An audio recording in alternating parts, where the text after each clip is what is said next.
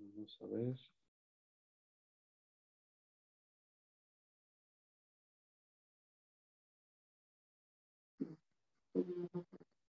Ah, déjenme volver a entrar.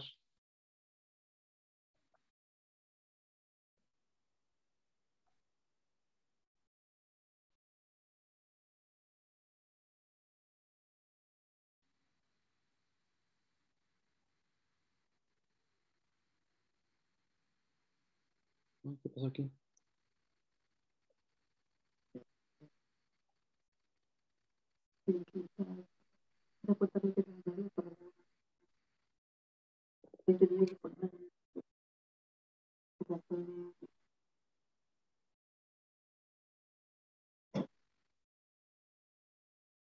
Perdón, ¿eh? Estoy aquí nada más con estas cosas de la tecnología. Claro que sí. También todo esto es nuevo.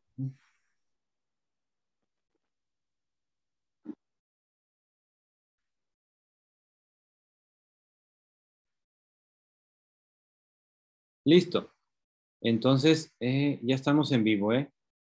¿Qué tal, amigas y amigos de Médico Historiador? El día de hoy es más temprana la charla porque nos hemos enlazado hasta Brenes, Sevilla, España, con una eh, excelente persona que es eh, diseñadora de, de, de, artículos religiosos en el tema de, eh, la, de, las telas, del oro, del bordado, de esta gran, estas grandes obras de arte con las que muchas imágenes eh, religiosas son revestidas.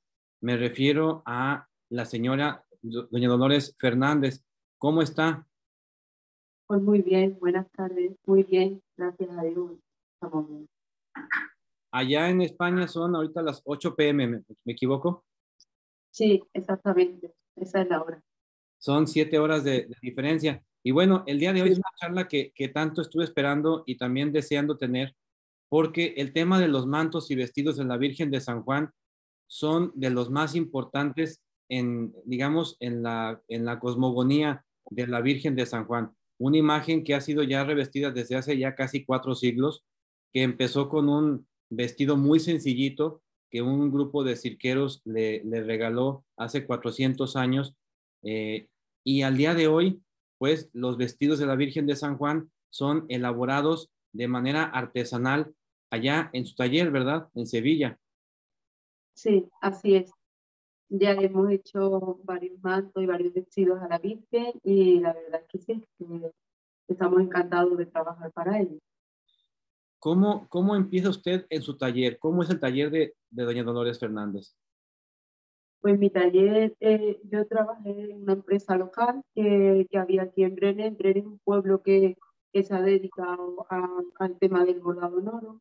Y había un taller en Brenes y trabajaba con muchos trabajadores, muchas mujeres trabajando. Y un problemilla, cerraron y yo pues decidí empezar y emprender y abrir mi taller. Hace unos cinco o seis años que empecé andar sola. Cuando el taller que existía en Brenes de bordado pues cerró, pues yo pertenecía a ese taller, estuve bordando en él durante 26 años y ya pues me, me inicié por mi cuenta y, y empecé a, en mi propio taller. Sevilla tiene fama de tener de los mejores talleres del mundo en, en todos los ámbitos, ¿no? Del bordado y también de la elaboración de imágenes religiosas.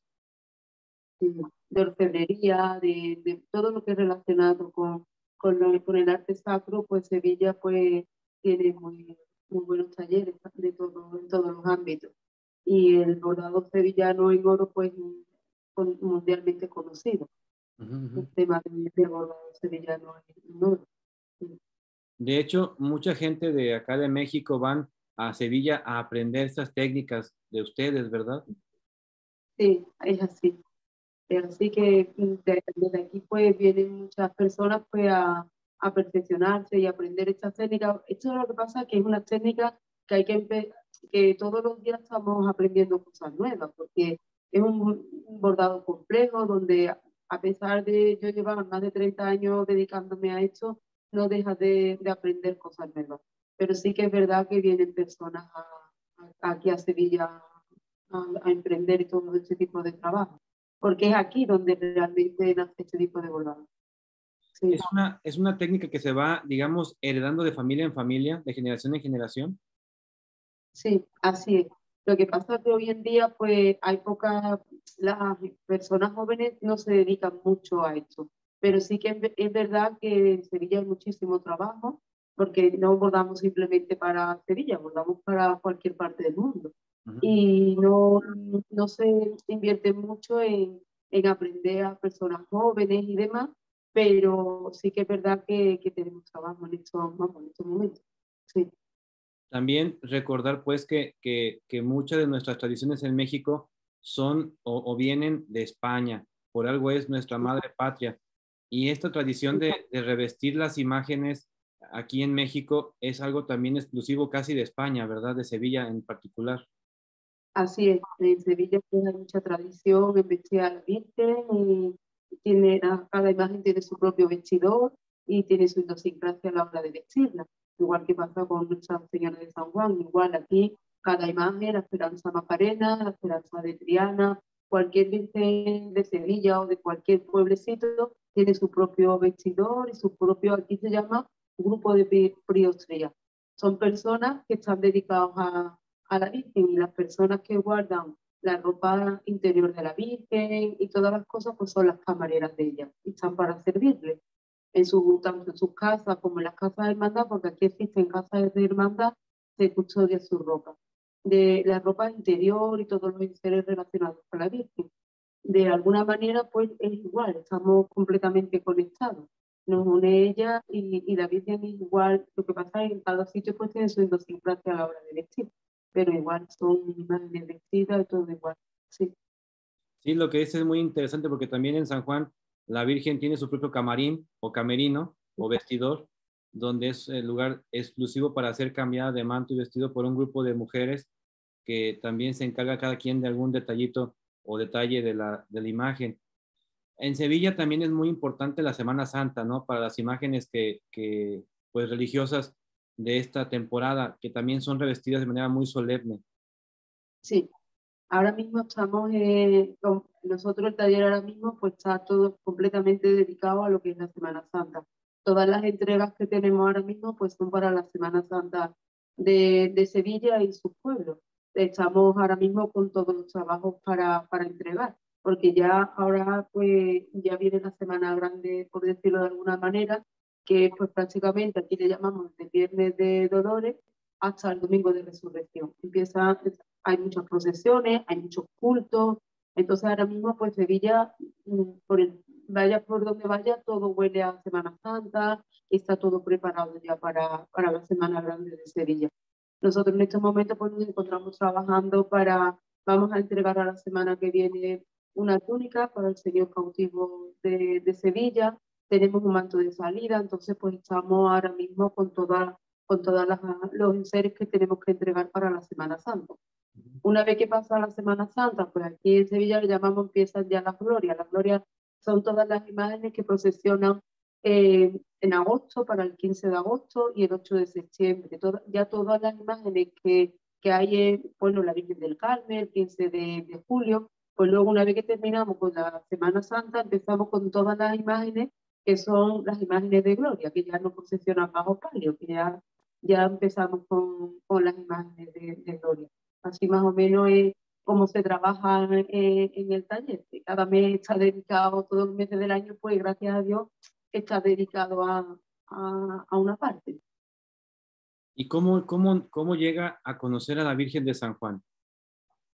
Pues mire gracias a las nuevas a las tecnologías, pues se ponen en contacto conmigo a través de una persona, de un particular, se pone en contacto conmigo y era para el 250, era, para el mes de diciembre y se pusieron en contacto conmigo, conmigo en el mes de junio o julio y empezamos a conversar y a, hablar y entonces era para, para el mes de diciembre, el primer, el primer vestido y el primer manto que yo le hice de color celeste para la Inmaculada y, y, el vestido era blanco, era color blanco. Y ahí fue el primer contacto que, que yo tuve y ya a partir de ahí, pues, pues fuimos, ya le vamos haciendo, claro, como me van pidiendo, Desde allí, desde México, le vamos haciendo, pues, este va de este tono, de este color, y así sucesivamente. Pero el primer contacto fue para el mes de diciembre y empezamos pues, en junio de, de, aquel mes, y fue a través de las redes sociales. Yo creo que yo siempre digo que la, que la Virgen, pues, yo me mío, porque pues yo no, no sentí, sentí que era por las redes sociales, no, era, no conocía, no tenía el vínculo que tengo a, a día de hoy, no, no tenía el conocimiento ni la magnitud de, de, lo que representa la Virgen de San Juan y la, la, cantidad de fieles y de personas y de devotos que hay alrededor de la Virgen. Y le voy a decir una cosa, desde que le estamos trabajando, aquí también cada día más alrededor de la Virgen, todo el mundo me pregunta, todo el mundo sabe que estoy trabajando para una Virgen de México, cada vez todo el mundo, yo me conecto por la mañana cuando me levanto y veo las conexiones desde San Juan y cada vez más.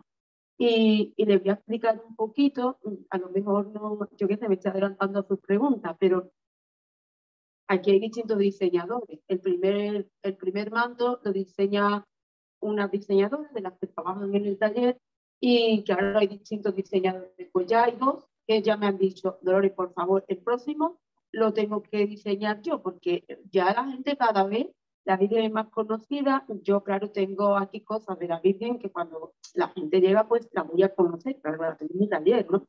Y, y, lo enseño y todo el mundo se queda mirado porque mmm, no, no, había tanto conocimiento de la Virgen y ya cada vez más, cada bueno, ya llevamos unos años trabajando, aparte de toda la gente que colaboran, porque claro, si la Virgen lleva en su manto algo pintado al óleo si lleva alguna, todo, cada vez tengo que, hay un equipo detrás mía, ¿no?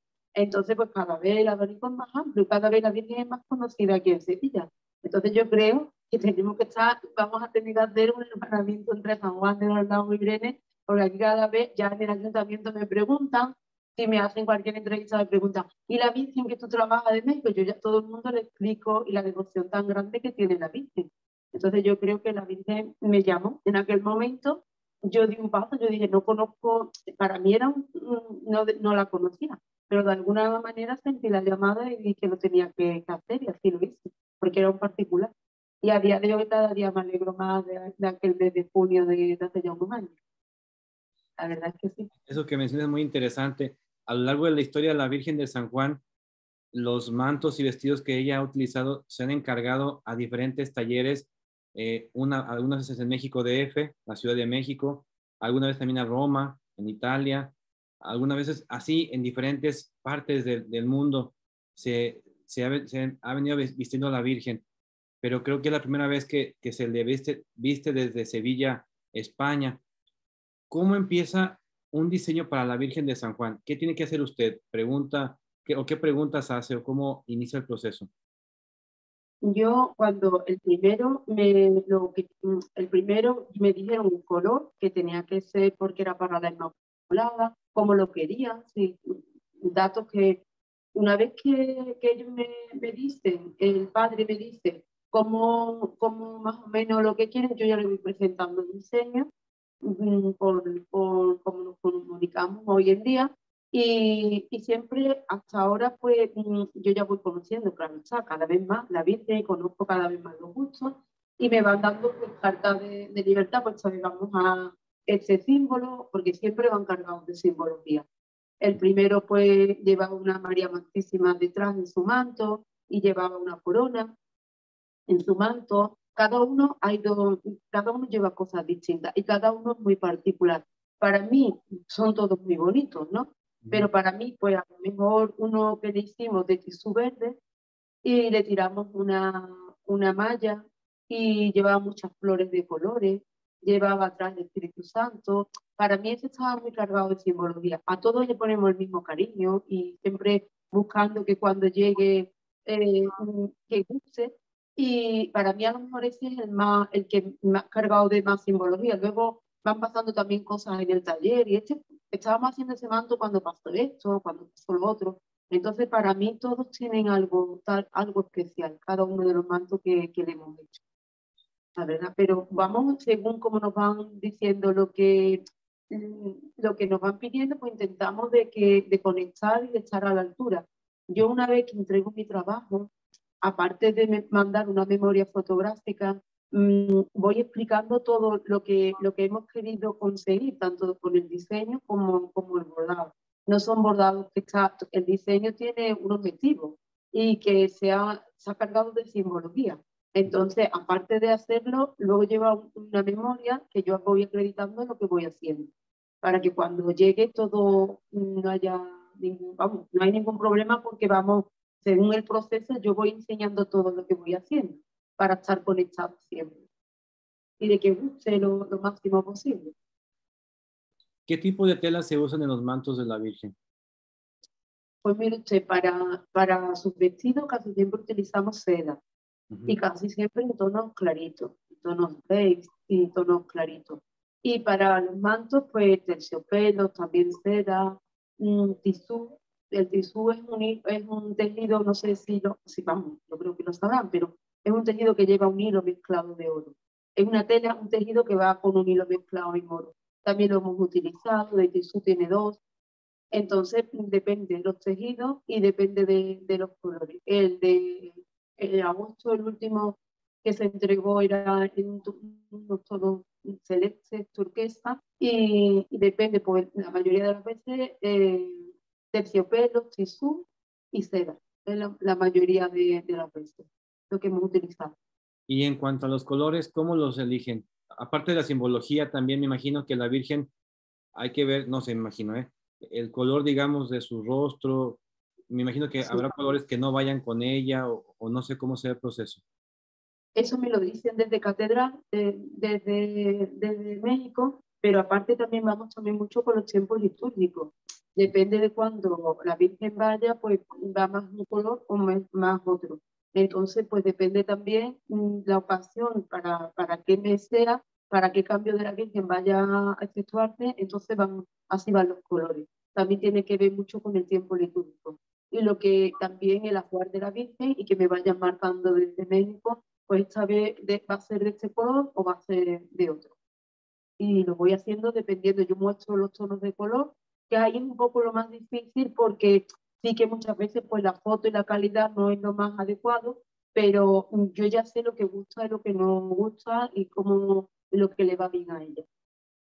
Sí, lo que, lo, lo que le va bien, ¿qué colores, por ejemplo, no le irían bien? Más como curiosidad. Yo le pondría un color oscuro al vestido. Un color oscuro para ella no, ella es una inmaculada, no le pondría nunca un color oscuro, siempre colores claros. El manto, pues sí, el manto está más cargado de simbología, le pondría, pero tampoco le pondría un manto muy oscuro, entonces colores agradables. Hay una gama muy amplia que ya también hemos, tiene bastantes tonos de colores de los que nosotros hemos hecho, pero nunca metería un color oscuro a, a la vista, un color colores agradables. ¿Y cuánto puede llegar a tardar en hacerse un, manto y vestido de la Virgen? Unos cuatro meses mínimo. Mm, durante las jornadas son de ocho horas de trabajo, entre ocho y diez horas de trabajo mínimo al día. y, y, para un manto y un vestido mínimo entre tres y cuatro meses mínimo lo que, lo que tardamos. Sí. Dice que es, sí es bastante el trabajo, porque aparte todo es manual, ¿verdad? Es artesanal. Todo. Aquí no hay nada, nada, nada máquina. Empezamos desde el diseño, empezamos desglosando las plantillas, luego en los bastidores se hacen las piezas, porque las piezas, muchas piezas no van, lo que son tejidos no van bordadas directamente, hay que hacerlas antes en bastidores, luego pasamos al tejido con el montaje. Entonces, pues pueden participar muchos, muchas trabajadoras puesto que, hay muchos ámbitos que hacer. Antes hay que desglosar el diseño y hay que hacer muchas piezas, luego pasamos al montaje. Ya luego, cuando estamos en el vestido, por las medidas de la Virgen, solamente es para dos personas, cuando estamos montando. Y en el manto, pues para cuatro personas, por, la, por las medidas. ¿Cuánto puede medir un manto, más o menos? El manto mide de lo que es lo que va en su cuello un metro más o menos por, por 80 centímetros de largo, con su forma. Sí. ¿Y, la, ¿Y el vestido? El vestido mide menos, el vestido no, unos 50 centímetros por ahí, lo que mide. el vestido largo. Y es forma como cónica, ¿verdad? Sí, es así. Porque ella lleva la parte superior de su vestido por donde saca sus manitas. Entonces, eh, desde, el cuello, desde el cuello hasta, hasta abajo son unos 50 centímetros, pero como usted dice, tiene forma circular. Sí. Y también aparte porque lleva bastantes fonditos debajo de su manto, de su vestido. Sí. Para darle el, el volumen, ¿verdad? Sí, bien. Y también, y también recordar que Doña Dolores, como dice, fue la que le hizo el manto y el vestido, además el estandarte conmemorativo de los 250 años de que llegó a su tercer santuario. Así es. Cuando la contactan a usted para ese trabajo, ¿qué fue lo que pensó? ¿Qué fue lo que sintió? Le, cuando al principio lo vi como, no, es que no, no lo sabía, pero yo sentía que, que lo tenía que hacer. Y la verdad que cada, cuando la primera vez que, que yo trabajé para ella, que fue en esa ocasión, y su estandarte, como usted dice, que la lleva en el centro una pintura de una persona muy reconocida aquí en Sevilla. Eh, yo no, no, tenía la magnitud para quien estaba trabajando. Ya luego sí fui consciente. Era como, pero sabía, no sé por qué, pero sabía que lo tenía que hacer. Hicimos un manto y un vestido muy, muy bonito. Pero no tenía en ese momento la magnitud para quien estaba trabajando. Pero sentí como si fuera una llamada de que lo tenía que hacer y no sabía. Era como no, tenía esta proporción de, de, lo que la Virgen significaba y la devoción tan grande que tiene. Que ya le digo que aquí en Breve ya también cada día más mm, mm, le puedo garantizar que me preguntan cada vez más, más personas por la Virgen y yo digo, yo, yo que me siento muy orgullosa, entonces yo se lo digo a mucha gente que trabajo para, para San Juan de los Lagos y si mm, entro para otro programa de aquí de Sevilla o porque nos hagan alguna entrevista o algo, pues, pues lo digo. Eh, no puedo mostrar porque con mi trabajo eh, mm, yo no puedo mostrar nada de lo que estoy haciendo porque son cosas privadas y no, pero sí que decirlo sí lo, sí lo digo y ya les digo que de las personas que entran aquí, ahora mismo hay dos diseñadores que están esperando poder hacerle un vestido y un manto porque están deseando de poderle diseñar. Yo para tenerme en cuenta mí, digo, yo sí, yo cuando haya otro trabajo, pues, pues lo comento, porque la verdad es que no sé por qué, pero mm, no sé, pero la Virgen atrae. Eso que dice, hay un documento muy antiguo que dice que la Virgen de San Juan es la roba corazones. Pues sí, sí. En el sentido de que quien la ve y, y, está con ella, pues se prenda de su, de su amor. Y bueno. O su mirada, ¿no? No pensé que el ojo tiene algo. Porque es que muchas veces, no sé, pero parece que hay una conexión muy, muy especial. Sí. Eso que dice la mirada de la Virgen, si recuerda el, el, el, lema de esos 250 años, eran bajo la mirada amorosa de María. Sí. Y Así es. además de su imagen que tiene detrás de usted de la Virgen de San Juan, ¿tiene alguna de bulto ahí en su taller? Sí. Sí la tengo, sí la tengo. Te la voy a mostrar. Yo también la tengo aquí muy presente y tengo cosas que, que me no sé cómo la tengo. Mire nada más. La tengo aquí conmigo siempre también. La tengo aquí. Lo que pasa que, mm, porque yo tengo previsto visitarla este mes de agosto, si Dios quiere. Entonces, mm, yo no fui a, a México, pero mi, familia, mi marido sí. sí. Entonces, pues sí tengo muchas cosas de, de la Virgen. Y, y, ella preside aquí mi taller, tanto en el busto como en, en fotos, porque me la, han, me la han hecho llegar desde, desde San Juan y, la, y preside mi taller. Entonces, cuando llegan gente que vienen a mi taller de visita, pues preguntan y ya le explico yo toda la historia. Le explico todo, todos los años que llevamos trabajando y todas las cosas. Sí, así es. Ahorita que decía de, los, de la simbología de los mantos, bueno, de los colores, todo, ¿por qué es triangular el manto? ¿Por qué debe ser triangular? De eso no le puedo decir porque yo creo que el manto, mm, ese diseño, por, por, a la hora de vestirlo, mm, decidieron de que fuera de esa manera, yo cuando veo, cuando bendice, cuando el sacerdote bendice con ella y demás, yo creo que es por eso también, por la forma a la hora de cogerla y demás, por esa, esa forma. Nosotros esa forma la respetamos muchísimo, ver, me mandaron sus patrones perfectamente adaptado y esa forma pues nosotros mm, de alguna manera pues ahí le ponemos los flecos, le ponemos las blondas, depende de cada momento lo que ese diseño requiera, pero esa forma yo creo que es para la hora de cuando el sacerdote mm, bendice con ella y para todavía engrandecer más la imagen de la, de la Virgen. Por eso yo creo que el diseño es para todavía engrandecerla más. ¿Hay algunas otras eh, parecidas allá en España que se vistan parecido a la de San Juan con el manto triangular?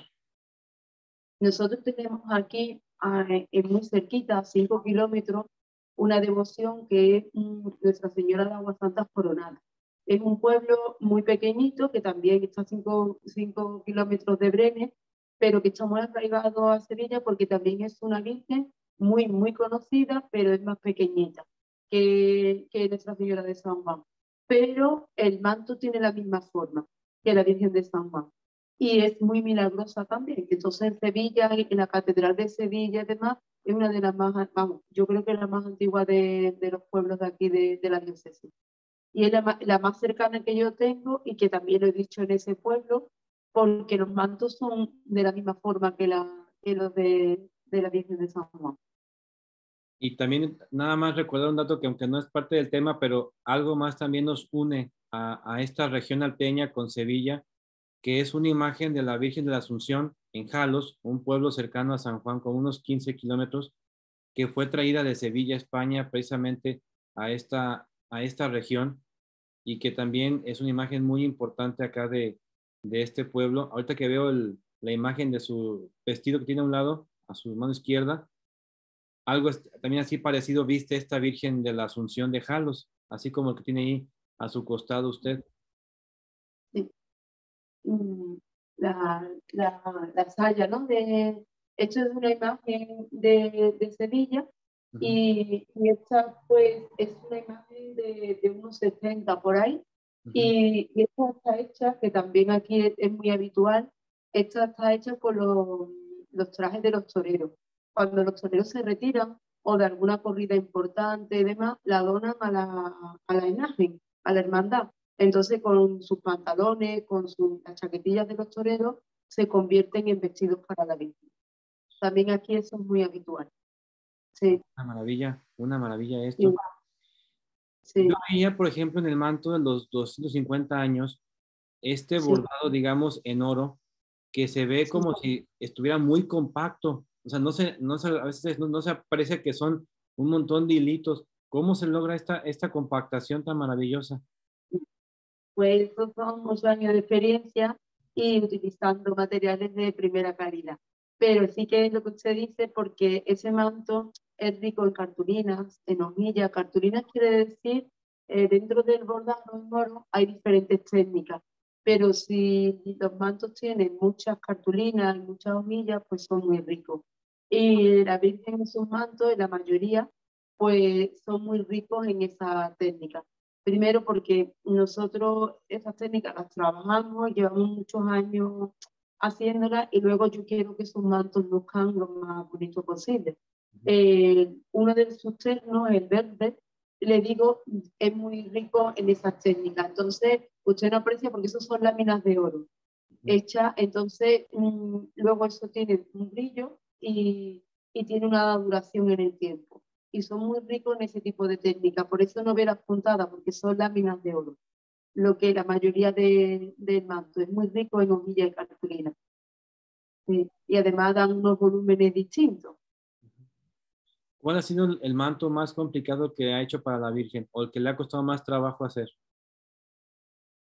Mm, el más, el, el más rico, a lo mejor, el más eh, yo, yo tengo el manto este verde que lo hicimos con muchísima ilusión porque ahí me dieron un poquito de, de, carta de libertad de, a la hora, me dijeron verde, pues digo, venga, vamos a meterle un tisú. Y ese manto lo íbamos haciendo y de ello todos los colores, todos los colores son sedas hechas a mano. A la hora de, de bordarlo tuve que hacer todos los colores a mano de sus flores para mí es ese manto, pero de los vestidos, el último. El último que, que estrenó este verano, en agosto, está inspirado en una de sus coronas. Entonces, en una de sus coronas es como si abriéramos una de sus coronas y de ahí sacamos el diseño. Y está hecho entero en plata de ley. Entonces, para mí ese vestido es muy, muy especial. Ese me quedaría con ese vestido y con el manto verde. Para mí, y cogería un poquito de rojo. Luego hay muchos mantos. Eh, en este verano, que es un color turquesa, es muy bonito, es muy rico. Es una estampación de estrella. Y sobre esa estampación está bordado, también cargado de simbología.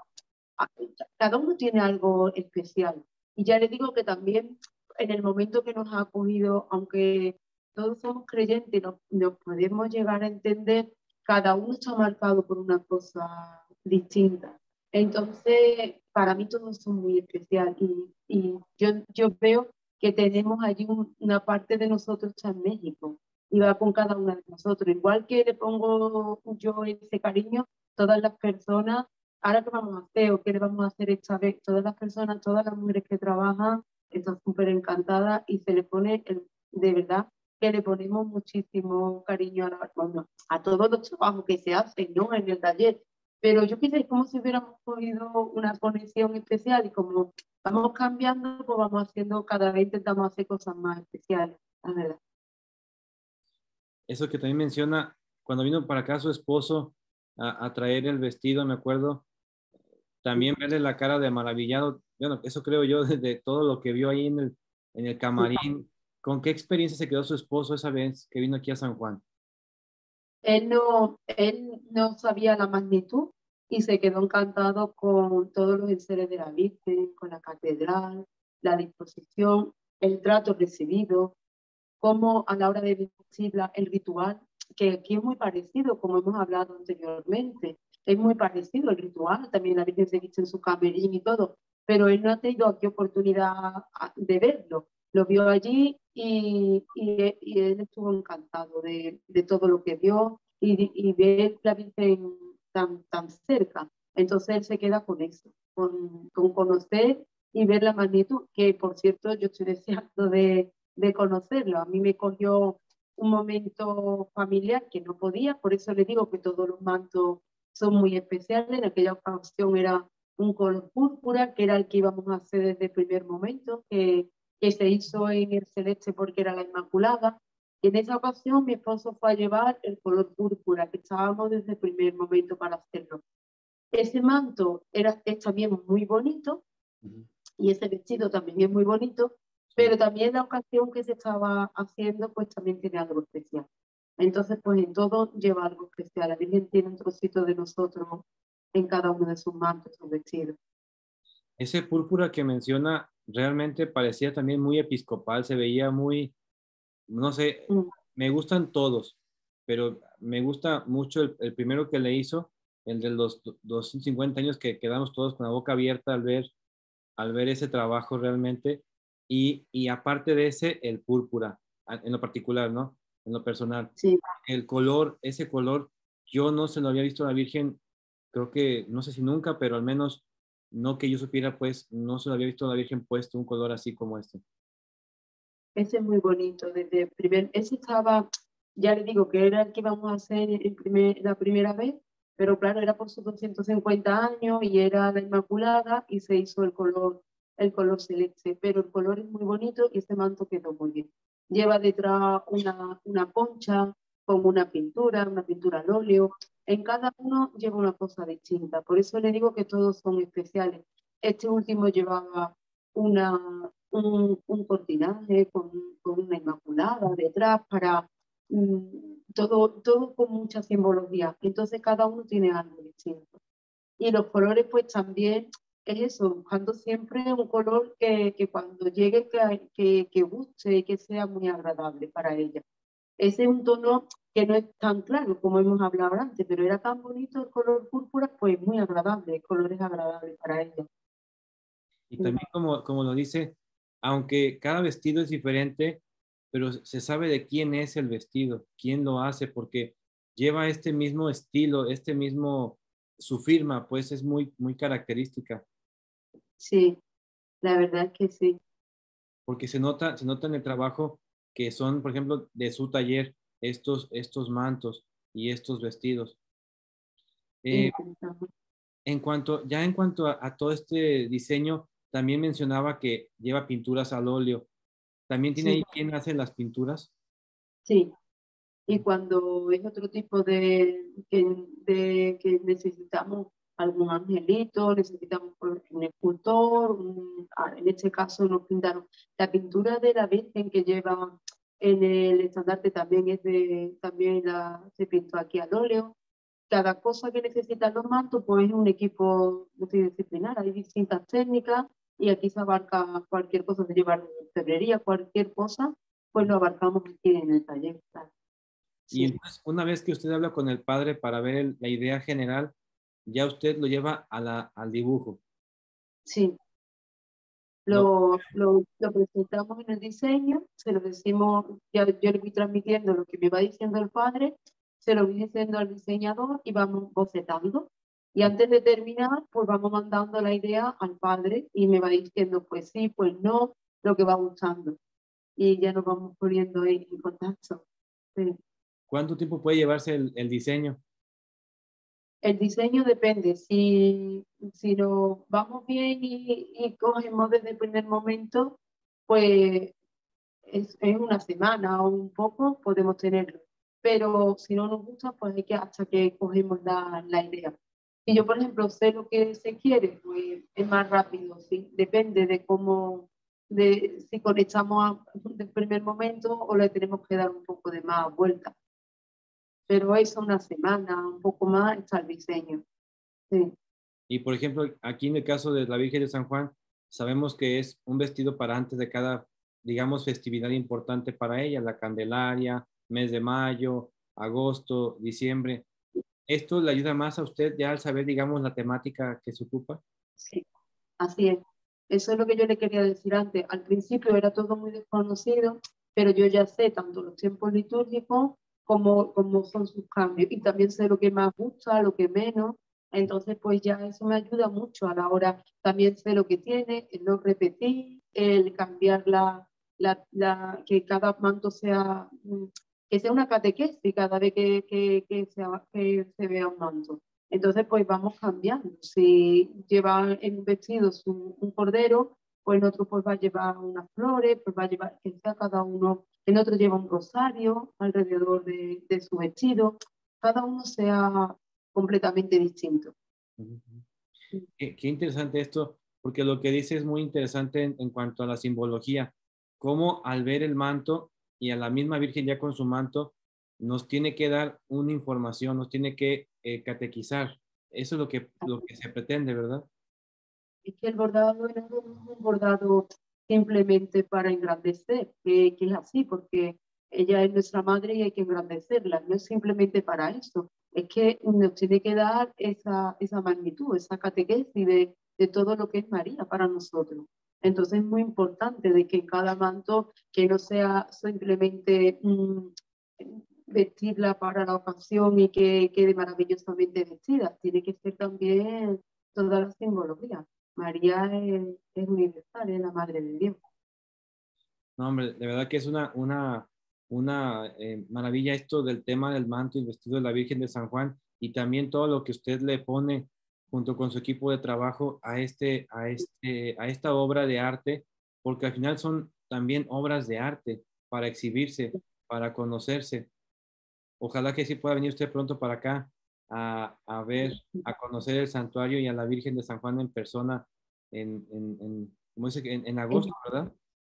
Sí, es verdad que lo que usted dice son obras de arte que se conservan. Yo en, mi, en la memoria pues le voy diciendo cómo hay que conservar, que por supuesto todos los enseres de la Virgen, y así lo vio mi esposo, están magníficamente conservados, pues eso es una obra de arte para el día de mañana. El tejido pasará y a lo mejor dentro de 100 años, 150, 200 años, a lo mejor hay que cambiar los tejidos, pero eso perdurará en el tiempo y ella pues tendrá un donde exponer todo su, su acuario y son obras de arte, son obras de arte en su museo, porque tiene que tener un museo con, todo su, con toda su ropa.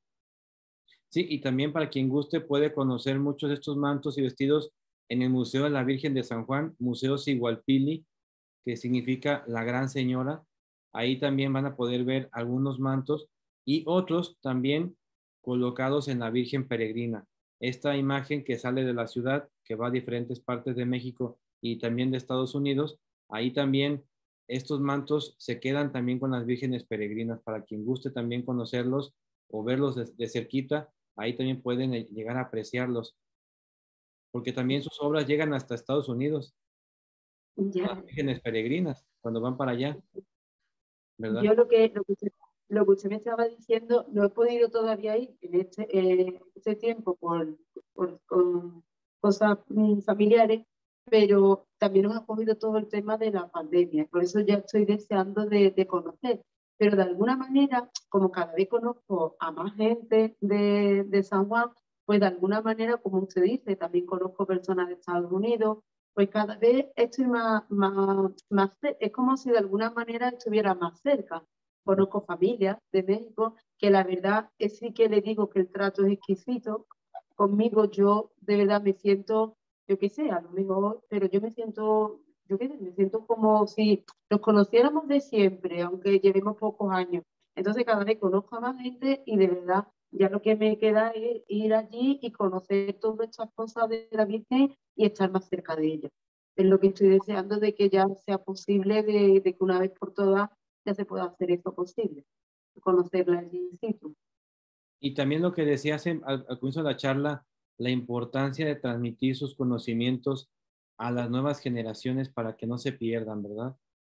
Así es. Hay que, que, que, transmitir esta, porque si no se van a perder. Y cada vez pues tiene que haber cursos y tiene que haber para que todas las personas pues se vayan formando en estas técnicas, que no es fácil porque eh, son cosas que se van aprendiendo por los años, pero si hay personas que les gustan trabajar artesanalmente, trabajar con las manos, pues son cosas que, que, gustan. Y sabiendo para quién trabaja y lo cerca que, que tienes que estar de ella y que sepa que lo que tú has hecho con tus manos luego va a ser admirado por miles y miles de personas, ya con eso te sientes recompensado. Y, y, y, hay muchas personas que también quieren aprender y hay que dar oportunidad. Yo en mi taller pues, hay gente que está cerca y yo pues claro que, que transmito. Es como si cuando nosotros damos catequesis a los, a los niños más pequeños en nuestras parroquias, mm, lo damos voluntariamente, pues también hay que hacer cosas porque si no esta, estas tradiciones pues se pierden. Esto, esto es mi método, mi manera de ganarme la vida, pero bueno, yo también, igual que hacemos cosas voluntariamente, yo en mi trabajo, si alguien quiere venir a, a enseñar, pues es que también hay que, hay que dar y abrir para que esto no se pierda, porque si no, las tradiciones se van a ir perdiendo. Y esto es un bordado tradicional muy sevillano. Sí, eso sí es muy importante. Ojalá que se pudieran abrir alguna escuela o algún taller de este arte sevillano para que más gente aproveche y como dice, no se pierda. Aquí en San Juan, muchas mujeres, en general, la mayoría de mujeres, hacen tejidos, ¿no? Realmente de chambritas o, o así pero ah, faltaría como algo más, como este tipo de, técnicas para que la gente pueda aprovechar mejor y, y, de verdad se siga conservando un arte que, que, vale la pena tenerlo por siglos y siglos y siglos. Así, si el tiempo nos lo permite, pues yo creo que, que con futuros proyectos yo creo que puede ser posible perfectamente, porque son cosas que están ahí en la, en la mente y si ella lo quiere y lo predispone, pues habrá que hacer lo que ella es la que manda. La Virgen es la que predispone y nos pondrá en el camino si Dios quiere para, para hacer lo posible. Ella, como hemos, hemos dicho, es la roba corazones y no sabemos si en, algún momento pues, pues ella querrá que, estemos allí y que sea posible. Así es, ojalá, que se logre esta escuela de, de, pues un taller o una escuela de, de este esta técnica que seguramente yo sé que hay mucha gente que tiene la capacidad, la habilidad y que falta nada más la quien nos dirija en esta en este conocimiento. Yo quiero agradecer su tiempo, de verdad esto, esta charla que, que me regaló el día de hoy.